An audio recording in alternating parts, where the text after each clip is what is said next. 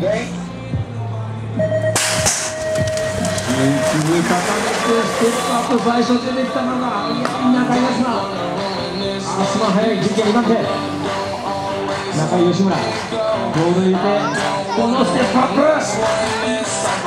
マのバックサイド合わせるうまいそして十字が入っていく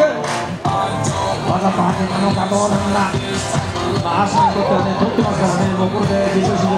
いるという状況ではあるんですけども、決勝に向けての、これはね、まあ、監督を合わせているというところもあるんでしょうか。ジュディア、マイケ、アスナ、そして辰巳というトップ3。